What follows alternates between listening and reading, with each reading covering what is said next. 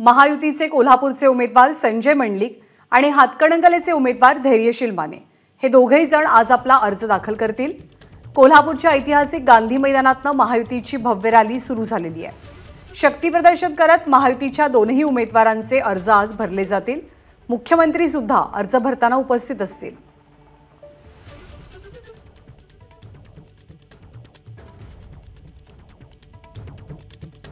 तर कोल्हापूरमध्ये महायुतीकडनं शक्तीप्रदर्शन करत संजय मंडलिकांचा अर्ज दाखल होणार आहे. तर हातकणंगलेमधनं धैर्यशील मानेसुद्धा आज आपला अर्ज भरतील. मुख्यमंत्र्यांची उपस्थिती असेल. कोल्हापूरमधनं संजय मंडलिक यांना आव्हान आहे शाहू महाराज छत्रपतींचं.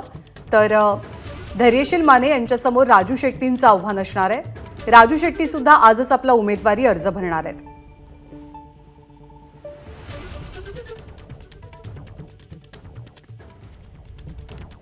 या सगळ्या संदर्भात महायुतीचे उमेदवार संजय मंडलिक यांच्याशी संवाद साधला आमच्या प्रतिनिधींनी. अर्ज भरण्याच्या पार्श्वभूमीवर आपण पाहूया.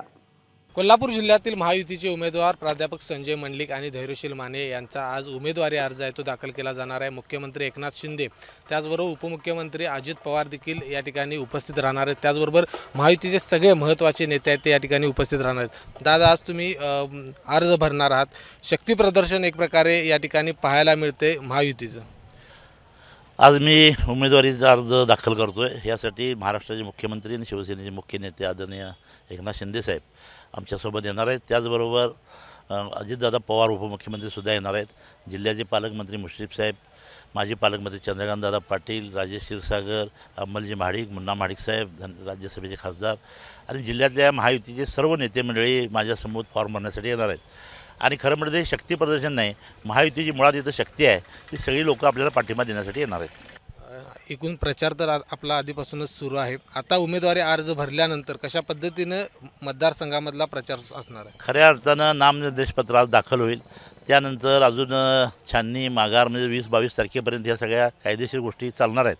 तर तत्पूर्वी प्रचाराची सुरुवात झालेली आहे. आता योग्य पद्धतीनं प्रचाराचं नियोजन निय नियोजन करून राहिलेल्या काळामध्ये गावागावामध्ये घराघरापर्यंत कार्यकर्ते कसे जातील याचं नियोजन होणार आहे. आणि त्या पद्धतीची सुरुवात आधी झालेली आहे. विजयाची किती नेमकी हमी आपल्याला वाटते? कितीचं लीड असेल असं वाटतं विजयाची एकशे एक टक्के हमी आहे. लीडचं आज तुम्हाला मी सांगू शकत नाही कारण वातावरण आता तापायला सुरू झालं आहे मागच्या वेळी दोन लाख सत्तर हजारचं लीड होतं. कदाचित ते ओलांडून मी पुढे जाईल धन्यवाद दादा. कॅमेरामन निलेश शिवायसह विजय केसरकर एबीपी माझा कोल्हापूर. एबीपी माझा उघडा डोळे बघा नीट.